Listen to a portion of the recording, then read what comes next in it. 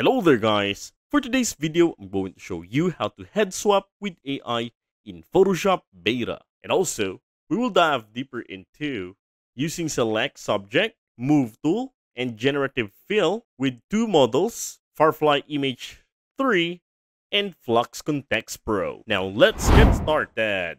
So here in the document, I prepare here an image of this famous basketball player and I also have here another image of this Asian celebrity. And our goal here is to put this man's face on the basketball player. The first step we're going to do is we're going to create a selection on the head. So to do that, go to the contextual taskbar, then select subject. Now we already have a selection on the subject. Now we're going to deselect on this part, all right? Because we just only want to get the head part, right? So I'm going to change my tool. So going on to the toolbar, click on this, uh, right click on this fourth tool, and then we're going to make use of the quick selection tool. Then from the options panel, I'm going to set this one to subtract selection. Then I'm going to start subtracting some selection on the body part, all right? Also on the neck part, okay?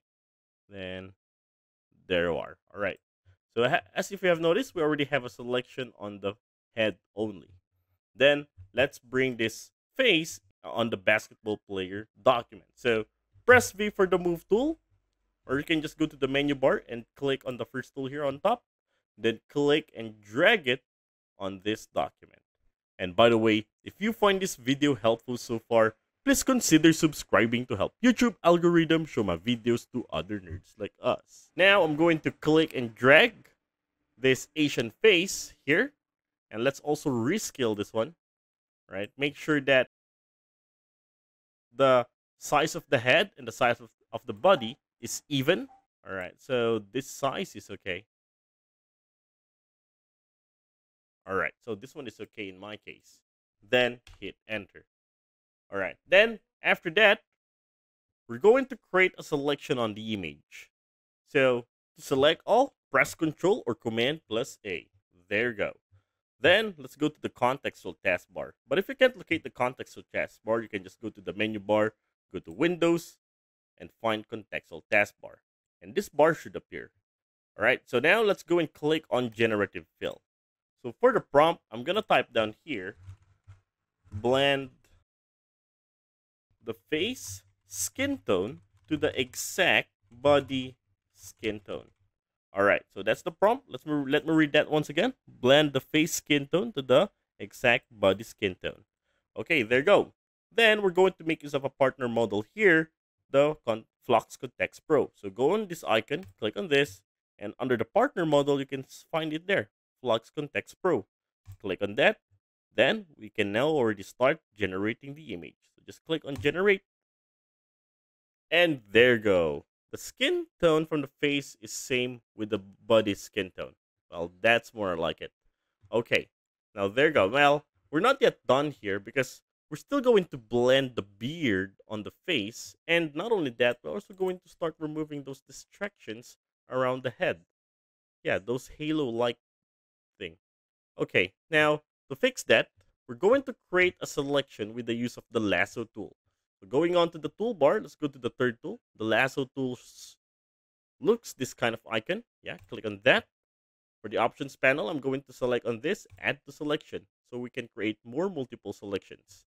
Then I will be start creating a selection on the beard and on the chin of this on the face. Okay, something like this. There you go.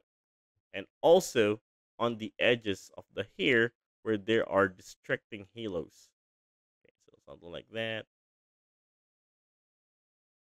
All right, that seems better. We already have a selection on the top and also in the beard. Then let's go and click on generative fill.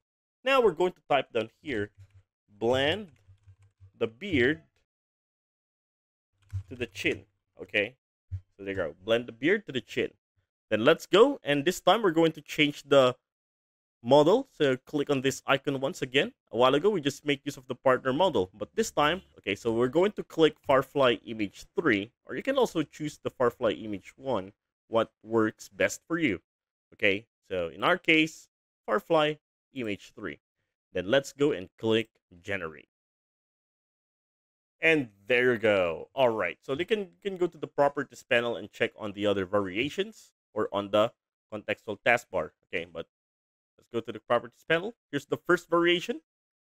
Here's the second variation. Yeah, this one looks cleaner than the first variation. And here's the third one. All right. So it's up to you. Which one is the best? Well, in my case, I'll be choosing the second one. And there you have it. Now let me show you the before and after. This one is the before, and this one is the after. And that is how to head swap with AI in Photoshop Beta.